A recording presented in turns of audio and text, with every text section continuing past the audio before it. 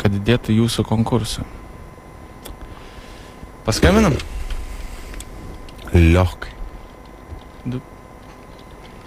Linkėjimai Ingridai ir tam panevežėčiui, kuris iš Donatų. Jo, Donatai, tau linkėjimai. Smagiai pakalbėjot.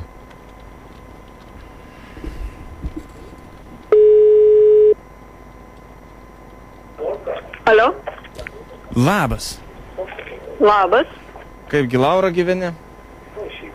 Gerai, tik nežinau, kas skambina. O, skambina, kaip čia pasakyti dabar, nei draugas, nei nedraugas. Nu, nesam. Labai balsas girdėtas. Nu tai dabar spėk.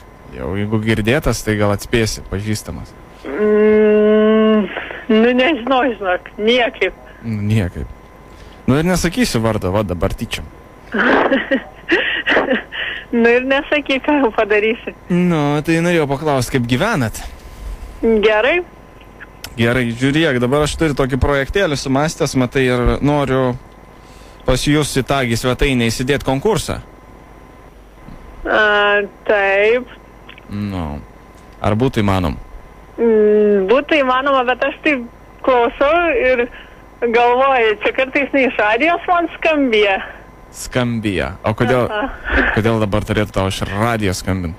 Nes balsas taip girdėtas, taip mm, iki gyvo kaulo jau. Iki gyvo kalo. Taip net, taip tikrai, ar ne? jo. Jo, jo.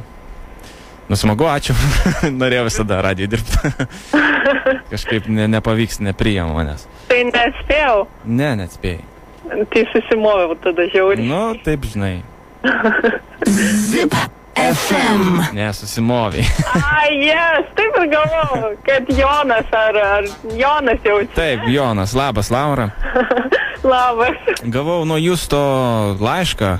O, tas, blemba, brolis išdūrė, taip. Tai aš nežinau, Justas Jekavonis. Taip, taip, taip, brolis. Taip, tai jis sakė, kad tu dirbi ten išloš.lt internetiniai svetainiai su draugu Taip. Raimundu.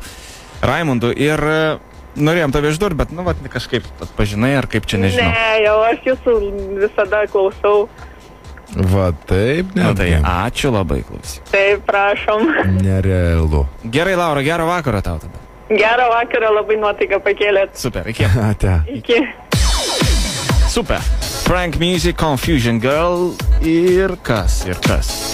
Čio, čio, Opa, ne. čio, čio, Di sudana. čio, Ciao.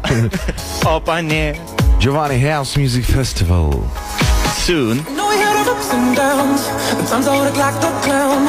But I never really knew you.